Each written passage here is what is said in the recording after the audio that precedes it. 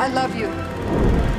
I know. Hey guys, hope you're going well. So, Solo, a Star Wars story, is the Star Wars film that seems to have fans feeling a little bit fatigued by the whole franchise in general. It is a spin off prequel movie that fans didn't really want. From people staunchly believing that no one else besides Harrison Ford can play Han Solo, the devilish scoundrel with a heart of gold. Then there were a lot of mutterings and speculations during the whole production especially when young gun directors Phil Lord and Christopher Miller, the directors behind the Lego movie and 21 Jump Street, were unceremoniously booted out due to creative differences and instead in stepped in the older and wiser and safer directing choice Ron Howard to finish the job. As for me, I was sitting in that meh camp of these standalone anthology episodes.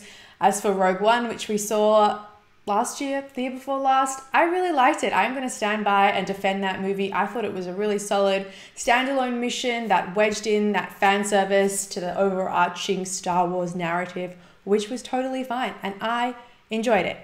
In terms of Solo, a Star Wars story, I was really I was really on the fence about it. And then when Lord and Miller got booted off the project, I pretty much lowered my expectations even further. Let's back it up. Let's start from the beginning here. So we've got um, Alden Ehrenreich playing the young and handsome Han. There's Qi'ra, his old flame, played by Emilia Clarke. And as you would expect from what is essentially a Han Solo origin story, which is dealing with a character that is so well established, spanning like multiple movies over many decades it decides to go back and answer all your burning backstory questions like how did Han meet Chewie? How did Han first get the Millennium Falcon or win it from Lando, played excellently by Donald Glover, by the way? What they have done right though is try and keep the bones of this story to a heist genre film, which is very smart. So, all the colorful characters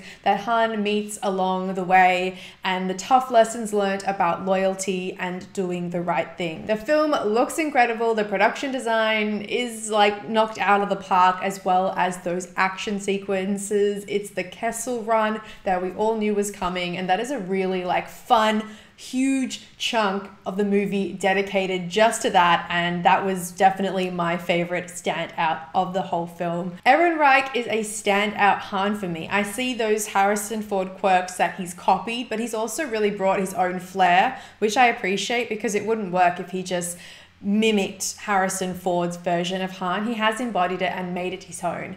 As for Emilia Clarke, that was just really safe, safe, generic casting. She is really sweet and cute, but just bland. Sorry, no, wasn't buying that. Anybody else feeling a bit of a yawn factor with uh, the Star Wars babe casting?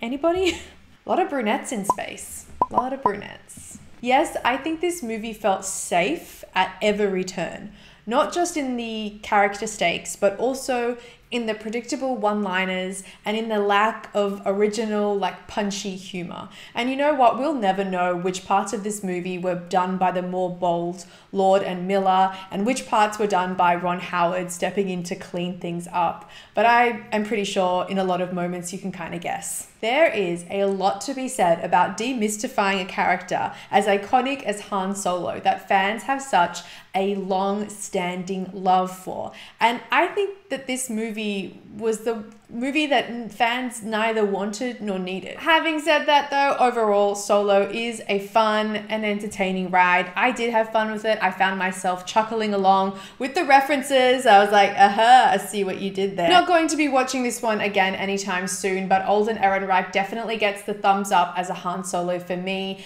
And if we're going to be seeing Han, young Han, again in the future, which I am sure we will, then I am glad it is him and I am going to be on board just to see him and Chewie hang out. Nothing else. Guys, thank you so much for hanging out with me today. Don't forget you can comment down below. Let me know your thoughts on this one. Are you feeling that Star Wars fatigue or did you just go all in and have a good time for what it was. I'd really love to know. Don't forget you can also subscribe to my channel here and keep up to date with all things movies and TV and I will see you next time. Bye.